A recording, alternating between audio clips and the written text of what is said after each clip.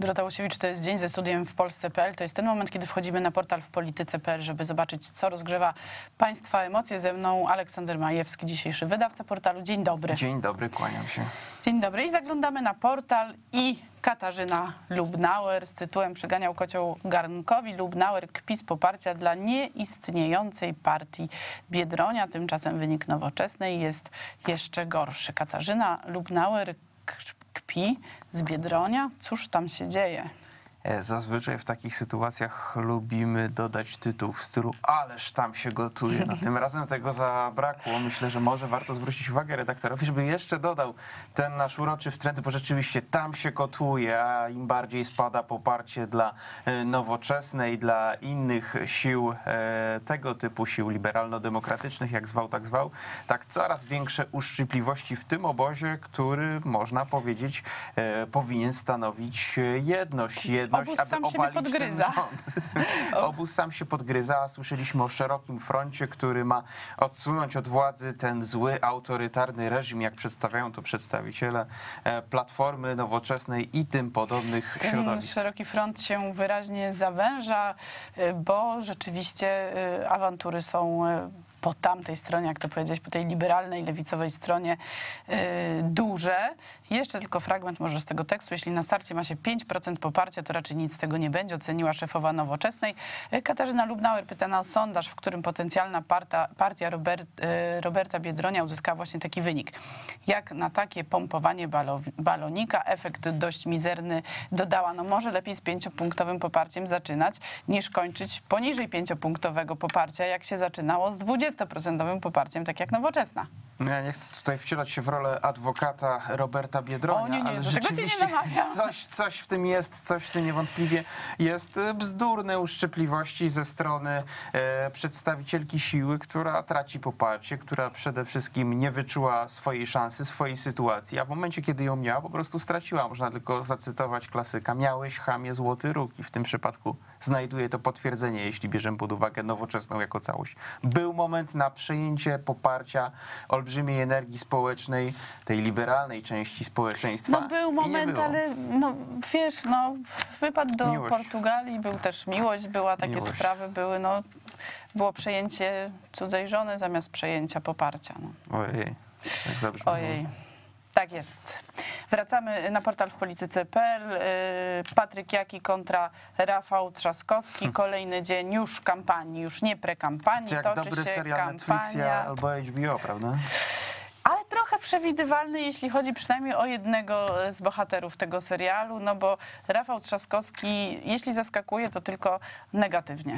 E, Ale jeżeli mówimy o serialach, pamiętajmy, że e, w jednym tandemie nie ma ważnego ogniwa, to znaczy Frank Underwood już nie wystąpi w najbliższym sezonie House of Cards. E, Ja nie widzę też jednej kluczowej postaci w tym tandemie, mianowicie Pawła Rabieja. Bo gdzie jest Paweł Rabiej? Przecież ci panowie byli nierozerwalni. Natomiast w ostatnim czasie e, Rafał Trzaskowski pojawia się samotnie, tudzież w otoczeniu atrakcyjnych kobiet, ale nie ma Pawła Rabieja. Co się dzieje z potencjalnym wiceprezydentem, czyżby nie miał ochoty włączać się w kampanię swojego sojusznika? Może i w koalicji obywatelskiej trzeszczy. Może widzi y, Paweł Rabiej y, te kolejne wpadki, które my widzimy, a których nie widzą sztabowcy Rafała Trzaskowskiego, ale zaraz zdaje się na tej scenie politycznej, w tym seria- serialu pojawi się nowa postać, która może dodać temu serialowi przynajmniej trochę emocji. Nie wiem na ile zmieni y, układ sił, ale na pewno zrobi się kolorowo. Wiesz o kim mówię? O twoim wcześniejszym gościu w telewizji w Polsce. O moim gościu Marek Jakubiak, ruch e, Kukiz 15. Oczywiście to ogłosi dopiero Paweł e, Kukiz, ale z 99% pewnością możemy podejrzewać, że kandydatem ruchu Kukiz 15 na prezydenta Warszawy będzie nie Stanisław Tyszka, jak to wcześniej e, sugerowano, a Marek Jakubiak.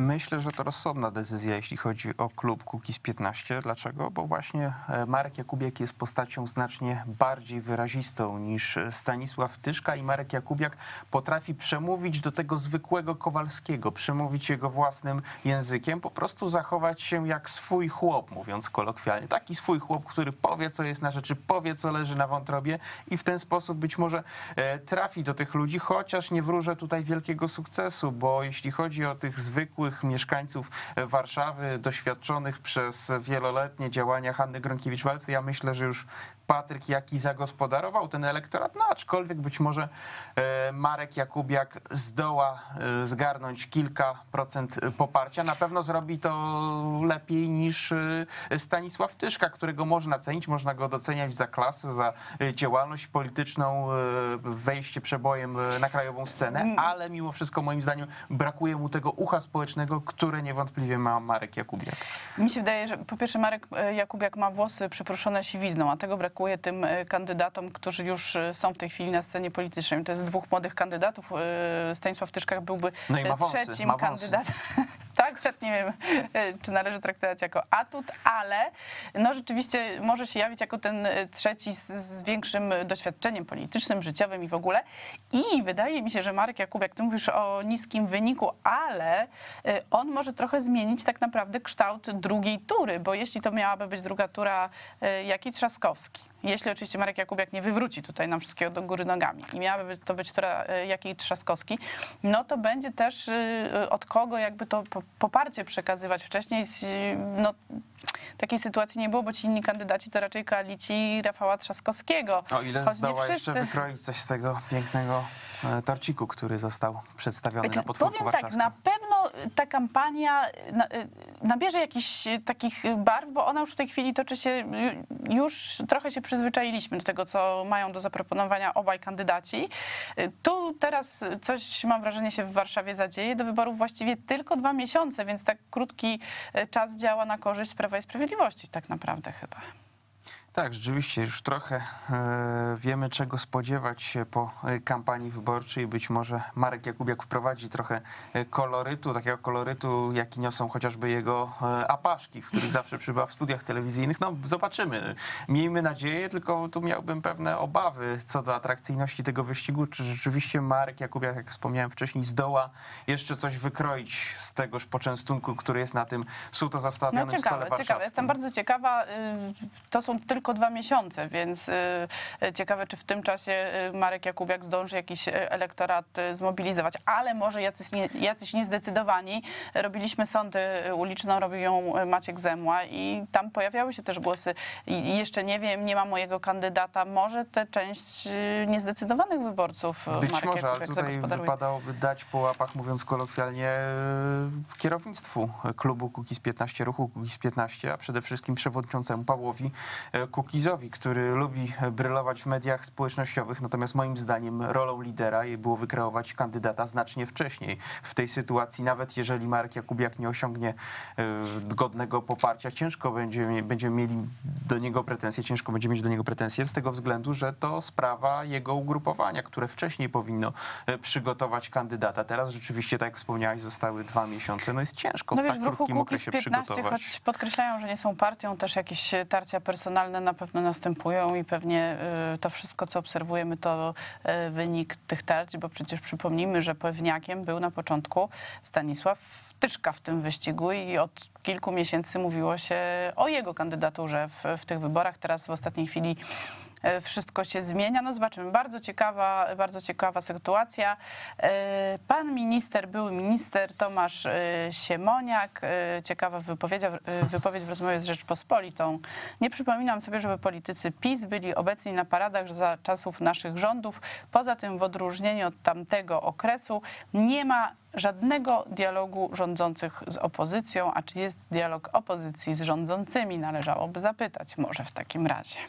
No, w zasadzie to przedstawiciele Platformy Obywatelskiej i Nowoczesnej już sami odpowiedzieli na tak postawione pytanie, deklarując się jako opozycja totalna. Opozycja totalna, czyli przepraszam, co? Czyli negowanie wszystkich propozycji.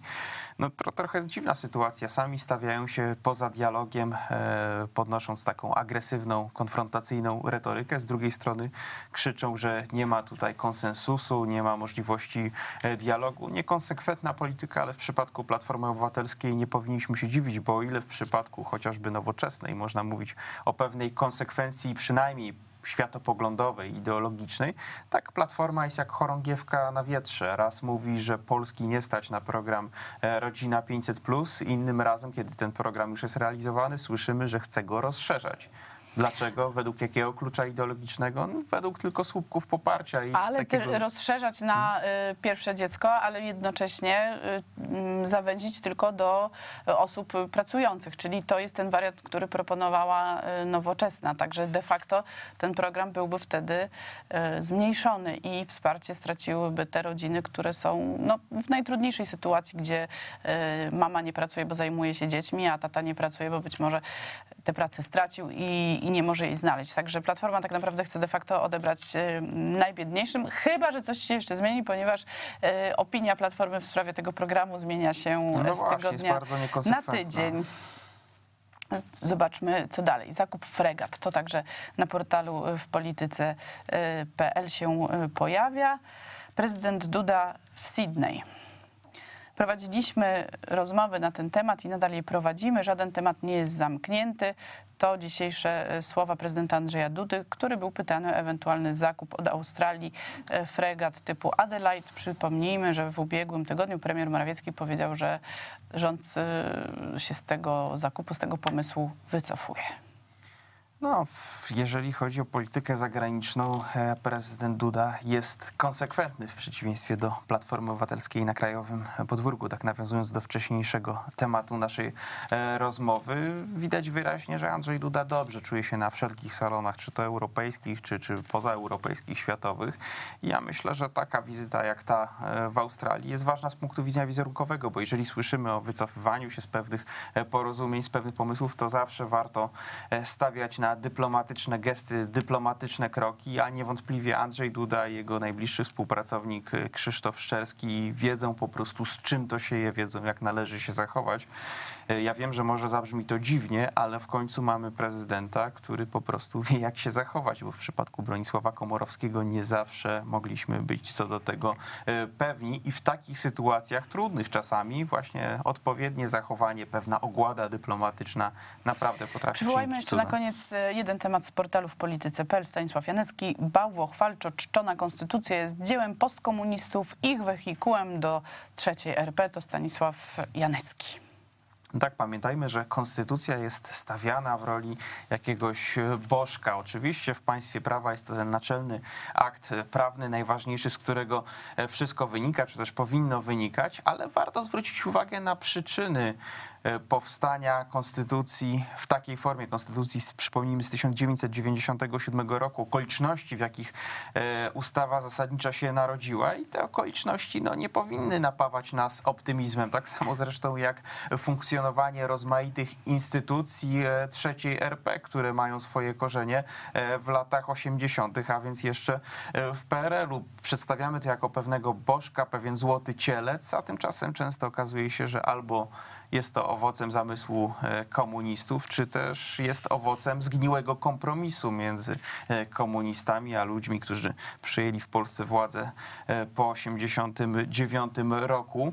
I czasami przy konsultacjach nie brali udziału wszyscy, a w zasadzie w ogóle nie brali udziału wszystkie środowiska, tylko pewna wąska grupa, która została dopuszczona do tego I stołu jedno władzy. zdanie ze Stanisława. Janeckiego. Apologia obecnej konstytucji jako aktu wręcz świętego jest groteskowa, skoro powstała ona między innymi po to, by uniemożliwić rozliczenie z komuną. Aleksander Majewski, dzisiejszy wydawca Dziękuję. portalu w polityce.pl. Dziękuję serdecznie.